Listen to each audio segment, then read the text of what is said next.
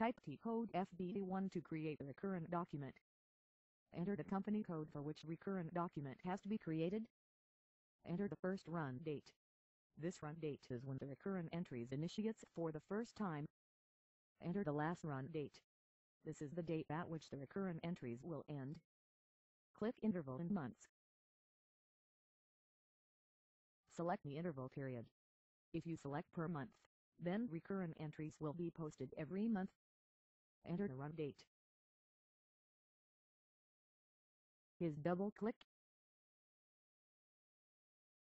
Select the appropriate document type for which recurrent document has to be created. In this case, we are using vendor payment document type. Select the appropriate posting key. Since we have selected document type DOSIN, we will use vendor posting key. Page down is now pressed. Select the posting key 21 for vendor credit memo. Select the vendor account. Enter the amount. Select the next posting key. Since we have selected the vendor debit posting key first, now we will select the credit posting key. Select the GL credit posting key 50 and select the appropriate GL account. Select the tax code for the vendor, if applicable. Double-click here. Click on the Continue button. Enter the amount. Enter the profit center. This is mandatory for all the Revenue GL accounts. Click on Save icon to generate a recurrent document number. Type F.14 to execute the recurrent document. Enter the company code. Enter the recurrent document number that was created in FBD1 to process further. Enter the fiscal year. Enter the posting date.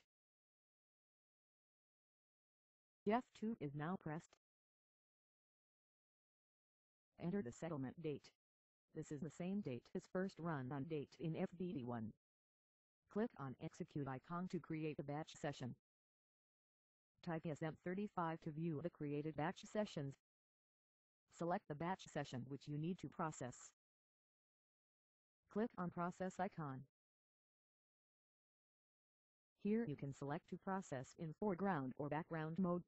We will use the foreground mode. Enter is now pressed. Enter is now pressed.